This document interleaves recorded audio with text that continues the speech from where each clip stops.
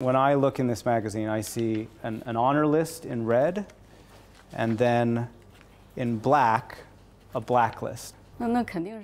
Those on the red list are people who have trustworthy behavior. Those on the blacklist are people whose behaviors are not trustworthy. Does it work? Does rewarding people who act well and punishing people who act badly make more people act well? Of course it works. And something about that question made her uncomfortable. She and her staff walked out of the interview and the newsroom, but the microphones were still rolling and recorded their conversation about my questions. What kind of question was that? Don't talk about the government. Talk about companies, businesses.